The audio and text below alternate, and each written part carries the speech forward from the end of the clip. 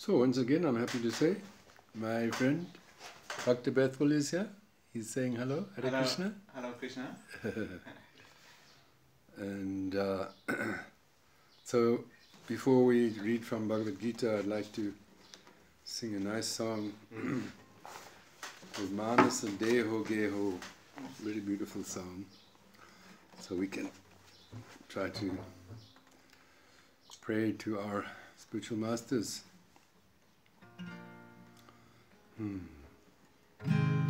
Manasa Deho Geho Yoke Chumor Apilum Tua Pade Nanda Kishore Sampadire Pade Jivani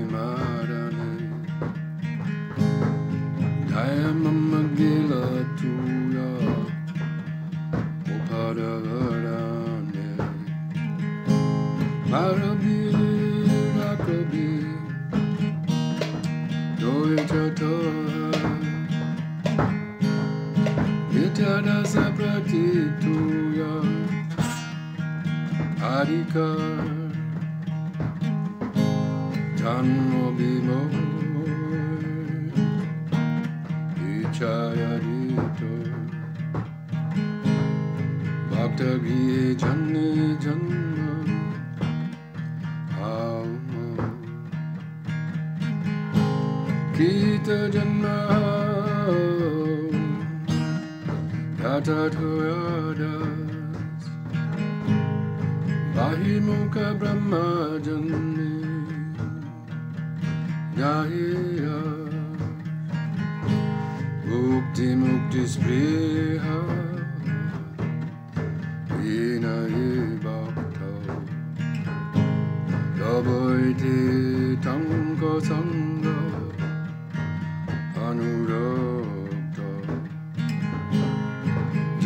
Janaka Janani Vaitatanaya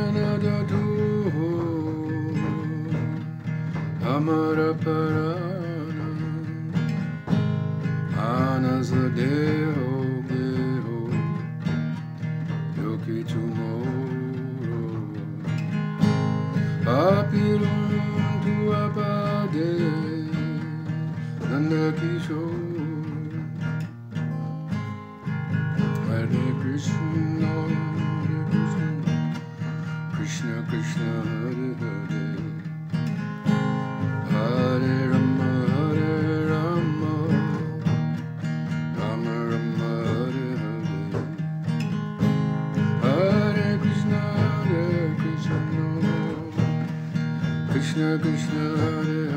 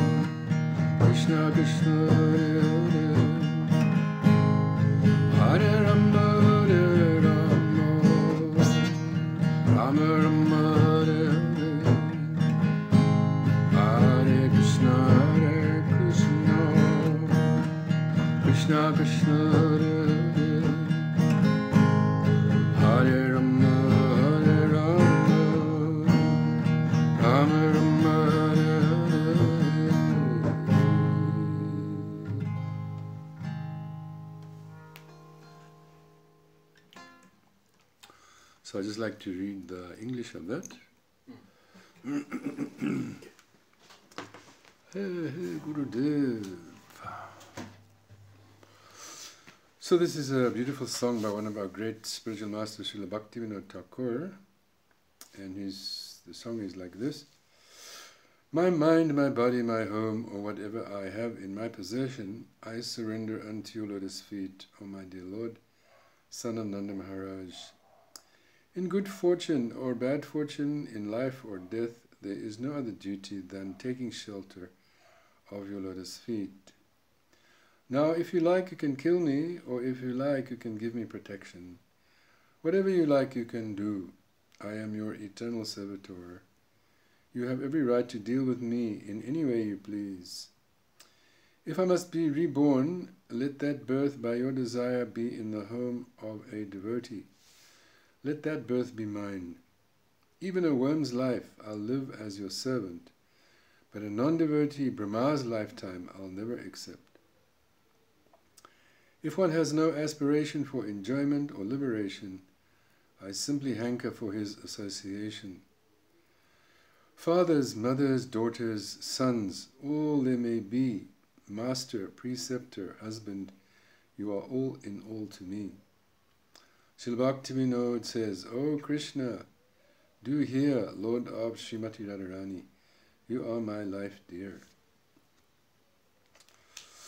Hey Krishna. so I'd like to say some prayers to our gurus. Agyanatimarandasya Gananjana Shilakaya Chakshurnamilitam Yena Tasmai Shri Gurave. I offer my respectful obeisances unto my spiritual master, who with the torchlight of knowledge has opened my eyes which were blinded by the darkness of ignorance. Namaste, Shri Bhakti Vijay, Gaudvanya Shrimate, Prema Bhakti, Rasambhare, Param Vijay Nam Vishnu Para Krishna Prishtaya Bhutla Shrimati Bhakti Vedanti Swami Nityanami. Namaste Saraswati Devi Gauravani Pacharni Nivisi Shashinyavadi Pastata Dishtarni Nam Vishnu Paraya Radhikaye Priyatmane Shashimad Bhakti Vedanti Nirayani Sinamini Shri Shri Devi Goswami Maharaj Ki Jai Shri Bhakti Siddhanta Saraswati Thakur Ki Jai Srila Bhaktivinoda Thakur ki jai. Hey Krishna. So reading from the tenth chapter of Bhagavad Gita. The glorious perfection of the Supreme Person. the Master of all mystic beauty, Lord Krishna, then said, Please hear from me carefully as I describe to you again the glories of the Supreme Divine Person. I speak out of a deep affection for you and a great concern for your welfare.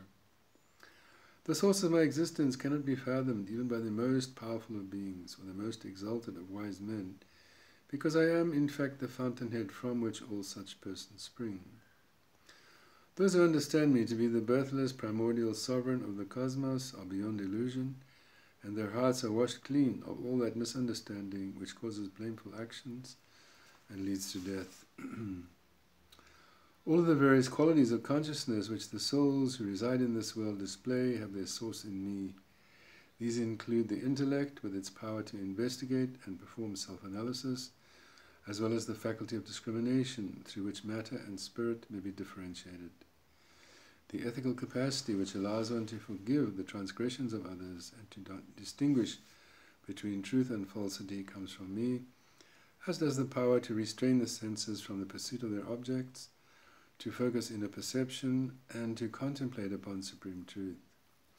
From me comes sensitivity to pleasure and pain, and the instincts which guide one through the processes of being born and of dying.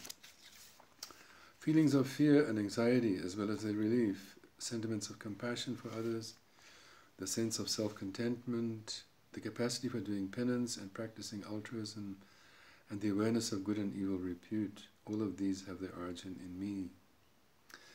The great ancestors of the people of this world, the sages and the progenitors, were all born from the power of my mind. Gaining an understanding of the truths concerning my divine opulences and supernatural potencies, will lead one to become perfectly established in loving communion with me through selfless divine service. There is certainly no doubt of this. I am the unitary source from whom all of the power in the universe is generated, and all creation emanates from me. The truly wise understand this and become devoted to me in love. The consciousness of saintly persons is always absorbed in ecstatic love for me, and all of their life energy is dedicated to my service.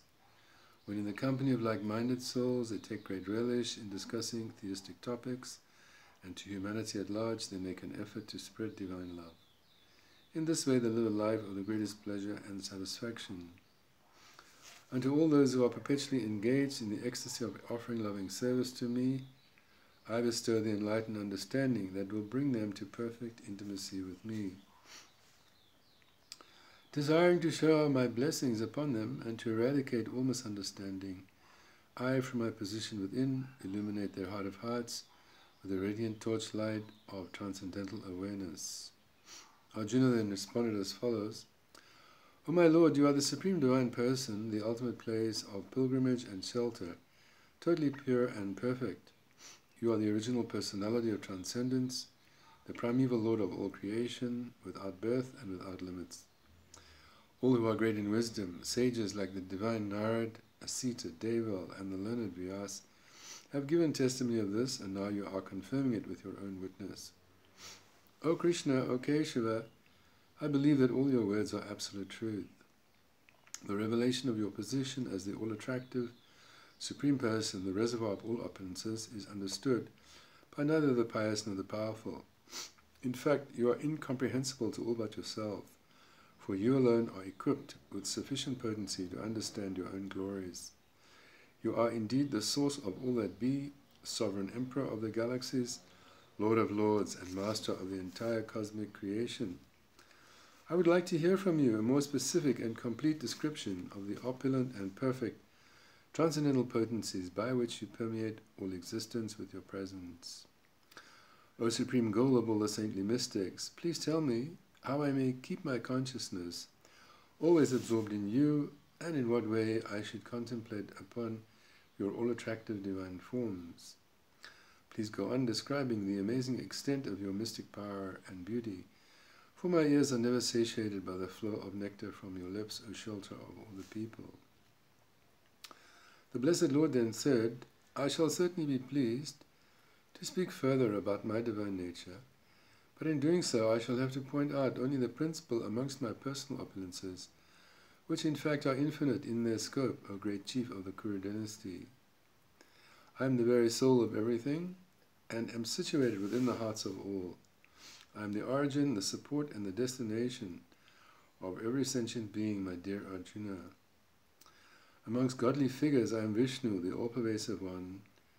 Of luminous things, I am the radiant and life-giving sun.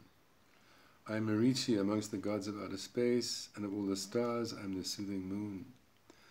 Amongst the holy scriptures I am the hymns of the Samaveda, and amongst the celestial overlords I am Indra, the king of paradise. Of all the sensory faculties I am the mind, and I am the force of conscious life within the living. Amongst the powers of destruction I am Shankar, the great Lord Shiva, and of the powerful subtle beings I am Kuvera, the chief treasurer of the gods. Within the family of the Vasus, I am the deity of the fire, and of mighty mountains, I am Mount Meru at the universal center. You should understand, my dear child Prita, that of high priests I am the most eminent Brihaspati, of warlords I am Generalissimo Kartikeya, the son of Lord Shiva, and of seas I am the mighty ocean. Amongst great seers of the truth, I am the sage Bhrigu.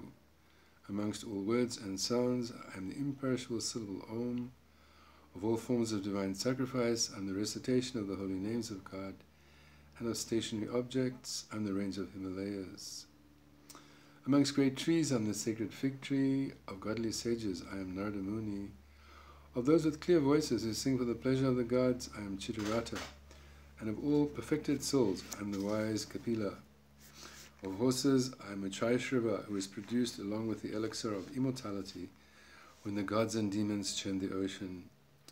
Of mighty elephants, I am Airavat, who is also produced from nectar, and in human society, I am that monarch who gives light to the people. Amongst weapons, I am the Vajra, the cosmic thunderbolt, and of cows, I am Kamadhenu, that miraculous bovine whose udders yield the fruits of all desires. Of those who beget children, I am Cupid, the god of sexual love, and amongst the snake community, I'm the pious Vasuki. Of cosmic serpents, I am Ananta, possessed of limitless heads, and of all those who live beneath the water, I'm the resident monarch Varuna. Amongst the forefathers of humankind, I'm Aryama, who presides over the planets of the ancestors, and of all those who regulate the affairs of the world, I'm Yama, who oversees death and transmigration. Within the midst of the family of demons descending from Diti, I am the saintly Prahlad. And amongst all conquerors, I am time, which conquers all. Amongst the beasts of the jungle, I am the lordly lion, and of all the many different birds, I am Garuda, who carries Narayan and Lakshmi upon his back. Of all that purifies, I am the wind, and amongst those who are expert in the use of weaponry, I am the great King Ram. Amongst aquatics, I am the shark, and of streams of flowing water, I am the beautiful Jahnavi, the sacred Ganges. I am the beginning, middle, and end of all creation, my dear Arjuna. Amongst forms of education, I am that science which leads to perfect knowledge of the self, and in argument, I am the natural and logical conclusion. In the alphabet, I am the first letter A, and of different types of words, I am the dual compound. I am the eternal feature of time and the Lord of creative potency, whose many faces point in all directions. I am death which consumes all, and I am the source of all that which has not yet come to be. Amongst women, I am the presiding goddesses of the perfect feminine qualities, good reputation, beauty and opulence, sharp memory, deep intelligence, steadfastness in service, and patient forgiveness. Of hymns, I am the beautiful Brihati melody of the hymns sung to the Lord at midnight, and of all poetic verses I am the transcendental rhythm of the Gayatri invocation. Of months I am the months of harvest, and of seasons I am the fragrant days of spring. Amongst frauds I am the cheating gambler, and of all that which is radiant I am the radiance. I am the sense of victory in all winners, the spirit of adventure in the brave, and the goodness of all those who are good and true, Within the Vrishni dynasty, I am the son of Vasudeva, and within the family of Pandu, I am Arjuna. Of all the learned philosophers, I am Vyas, the compiler of the Vedas, and of deep thinkers, I am Shukra, the professor of the unsurrendered souls. Amongst those who must keep order, I am the penalties which they impose upon the lawless, and of those who seek after success, I am those who keep to righteous means. Of those things which must be kept secret, I am the protecting vow of silence, and I am the wisdom possessed by the wise. My dear Arjuna, I am the seed from which all living things grow up, and nothing animate or inanimate could exist if I did not exist. Infinite indeed are my opulences and potencies, O hero amongst men, and the examples that I have given you are by no means complete. You should understand that all that is substantial, beautiful, and glorious within creation is born from a tiny fragment of my illustrious majesty. So, what will you gain by knowing all these varied things? It is enough to know that indeed I am, and that with a single spark of my mystic nature I uphold and pervade the entire cosmos.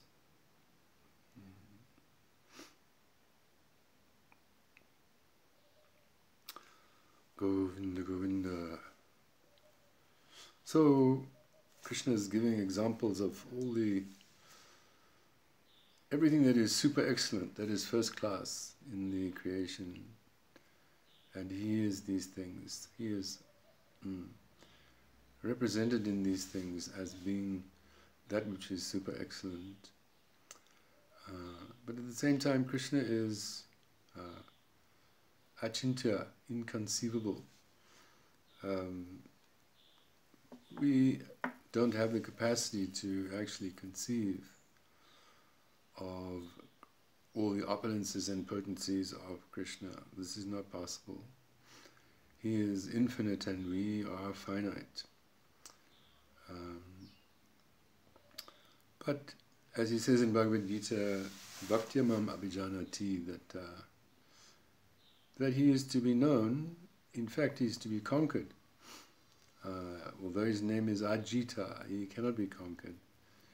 But he is conquered by the love of his devotees. So this is our one and only goal, Param Gatim, to the supreme destination, is to is to go to that place where mm, where the Krishna is the supreme beloved of everyone. This is Goloka Vrindavan in the spiritual kingdom. Uh, and in that place, no one knows that Krishna is God. they don't know that Krishna is God. He's just their friend, uh, or their beloved son, uh, or their beloved, as he is for the gopis. Um, so to come to that stage, because of course in this world many people are atheists altogether. They have no uh, knowledge of God, no desire to know God. Uh, they don't believe, many of them, even that God exists. But even those who do have some understanding that yes, there is the Supreme Lord, um, they have a, they worship Him mostly in awe and reverence. Uh, there's no sweet intimacy there. But this is not pleasing to Krishna. Actually, coming soon we have the uh, month of Damodar, in which we recite the Damodar Ashtakam, beautiful prayers, uh, glorifying the Lord's childhood pastimes. And in that prayer it says that uh, Krishna is not uh, captured, he is not attracted by this mood of awe and reverence. Um, rather, he's attracted when the gopis uh, chastise him. Krishna is a, a debauchee, he's a, he's a liar, he's a thief, all of these things. Of course, he's pure. Krishna is pavitram, he doesn't commit any sin at any time. But the transcendental uh, relationship of the residents of Vrindavan and Krishna is such that they speak to him in a very familiar, intimate way. And Krishna loves that. He, this, this is very pleasing to him. And that's only possible because they have no conception that he is the Supreme Lord of creation. No, they don't ever at any time.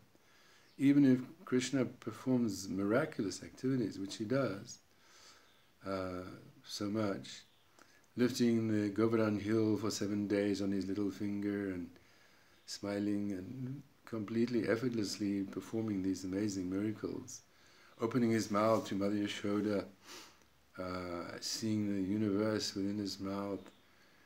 Still, she, Mother Yashoda, this is some mystic magic going on here.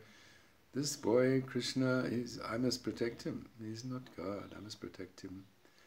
So this is the mood of the residents of Vraj, of Vrindavan.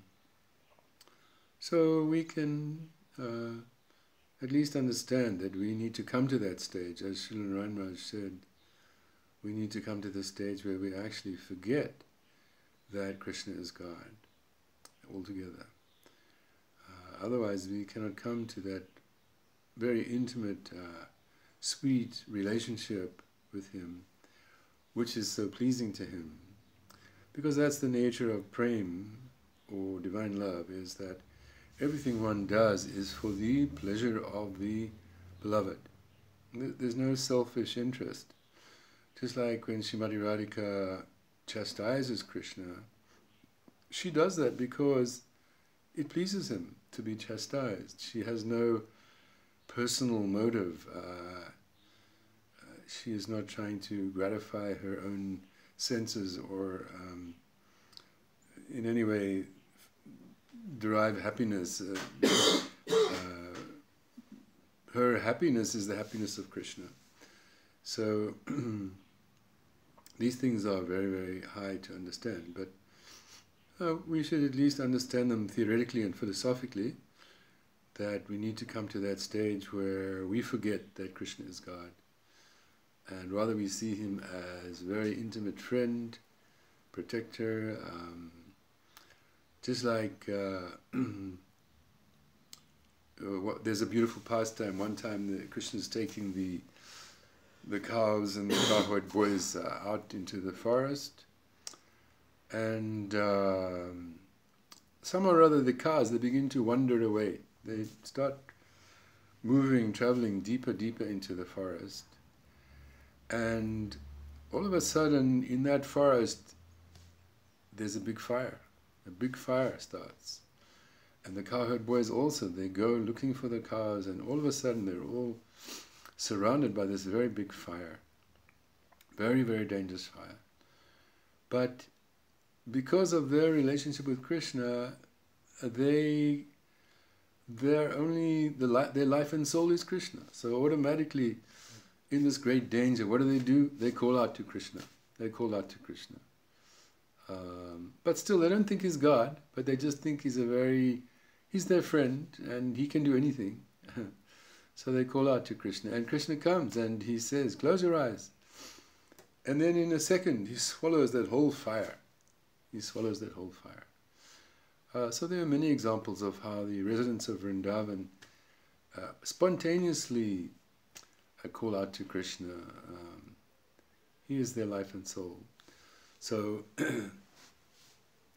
so we are here in this material world. Um, we are unfortunately not feeling yet these intimate, sweet feelings for Krishna. But uh, our main thing is our faith.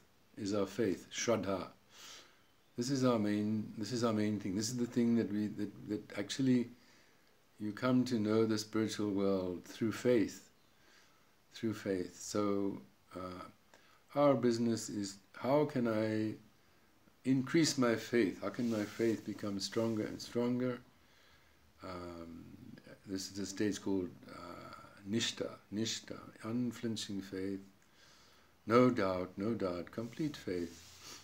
Um, how can I develop my faith? How can I become stronger? Just cultivate spiritual strength. So we are given the technique how we can do that. How can we become more faithful, more stronger like that in, in our beliefs and our, our conviction that actually Krishna is my intimate friend, my protector. And that is possible if we carry on with these practices on a regular basis the chanting, the reading of the books, uh, the offering of food to Krishna, the kirtan in the temple. So many nice instructions we've been given by the Guru to take us away uh, from the world of misunderstanding to the world of perfect understanding. And um, so we just need to stay steady, steady on the path. Um, that will be possible only if we have a humble state of mind, as Lord Chaitanya has given us in that nice verse. Trinadapi sunichena tarodapi sahishnana amanina manadena kirtanya sadadi. One should chant the holy name of the Lord in a humble state of mind, thinking oneself lower than the store in the street. One should be more tolerant than a tree, devoid of all sense of false prestige and ready to offer all respects to others. In such a state of mind, one can chant the holy name of the Lord constantly. Kirtana Sada Hari. Sada means constantly. And this is the example given by Lord Chaitanya. There's a nice song that Srila Prabhupada sings. Gai Gaura Madhu Svare Gai Gaura Madhu Svare that Lord Chaitanya is singing the holy names very sweetly, Hare Krishna. And it's our duty, as Prabhupada says, to follow in his footsteps, to chant the holy names. Um, and Prabhupada says that we need to chant the holy names in happiness and distress. Uh, this is necessary. Um, not that we stop when it's distressful. Distress will come in this world because there are three sources of distress, as we know adhyatmic, adhibhotik, adhidaivik, the distress that comes from one's own body and mind, the distress that comes from other living entities, and the distress that comes from the forces of nature. So these things will come, there's no doubt they will come. But Lord Gauranga's instruction is you keep chanting in happiness and distress, you keep chanting. And how will that be possible? Only in a humble state of mind. Ah, Trinadapi sunichena. Uh, more humble than the blade of grass. So, this is going to be our uh, companion. This humility is our constant companion. Um, And in this way we attract Krishna's mercy because nothing, as Srila Raj says, nothing attracts Krishna's mercy other than humility, humility. So we can pray for humility and um, in this way, one day at a time, one breath at a time, uh, we're, as Prabhupada, uh, Bhaktivedanta says in the his commentary into the Brahma Samhita prayers, our march, we are marching to uh, the spiritual kingdom to associate with Krishna. We are marching, day by day we are marching.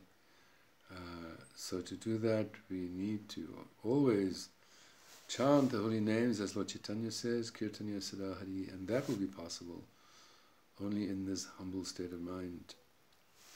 So I'd like to also read a little bit from Srila Prabhupada. Uh, this is a, a, a, conversation that took place in Los Angeles on May 14, 1973. Devotee, Srila Prabhupada, if material nature is the absence of Krishna, then what is material? Hmm. Srila Prabhupada, nothing is material. If you continue Krishna consciousness, there's nothing material. When we offer this flower in Krishna consciousness, is it material? Devotee, no. Srila Prabhupada, so how has it become spiritual? It was material in the tree, and now it has become spiritual?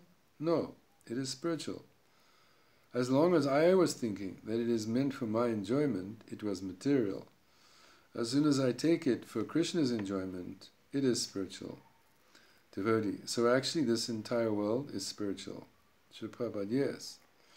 That we want, to engage everything in Krishna's service. Then this world will be the spiritual world. Devotee.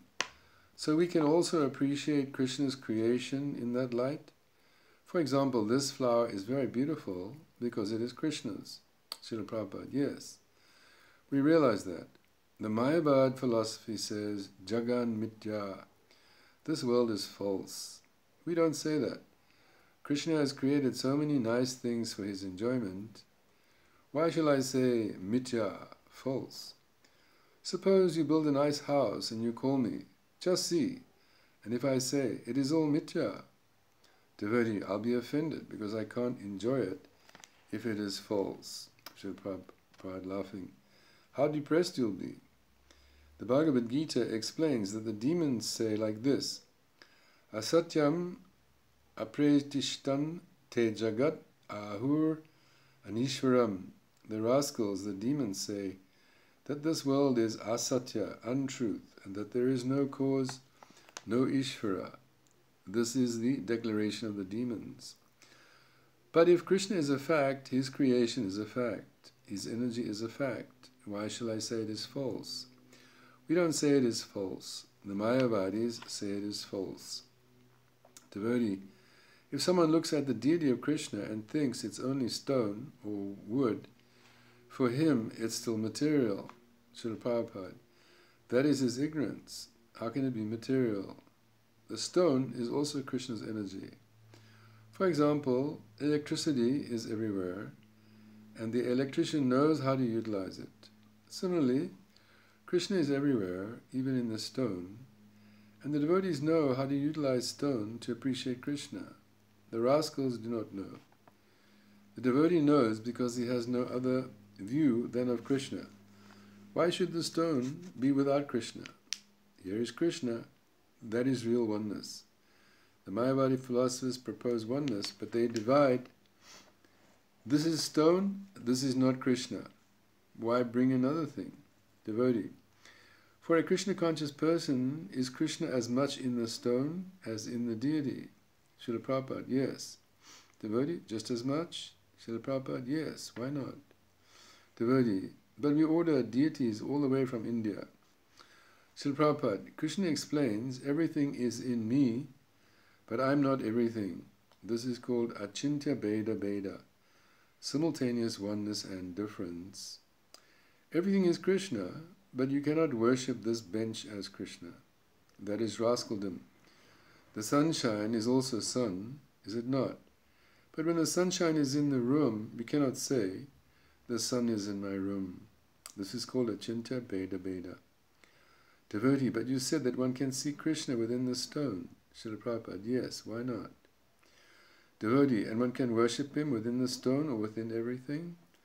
Srila Prabhupada, yes, we worship everything. We see Krishna everywhere. We don't see the tree, we see Krishna's energy.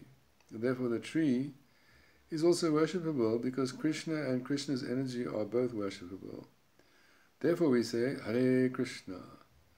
Hare means Krishna's energy. We worship everything. In our childhood, we were taught by our parents that if a grain of rice falls on the floor, we must pick it up and touch it to our head to show respect. We were taught like this. How to see everything in relationship with Krishna, that is Krishna consciousness. Therefore, we do not like to see anything wasted, anything misused. Why are we preaching? because we see that so many rascals are misusing their life. We think, let us give them some enlightenment. This is our mission. We could think, let them go to hell. Mayavadi sannyasis engage in meditation or go to the Himalayas, but we have come to Los Angeles. Why? This is our mission. Oh, these people are being misused under Maya. Let them gain some enlightenment. We are teaching how to utilize everything for Krishna, how to understand Krishna in everything. That is our mission. See Krishna in everything. Krishna says, anyone who sees me everywhere and everything in me is perfect. Jai Jai Jai Radhe. Thank you.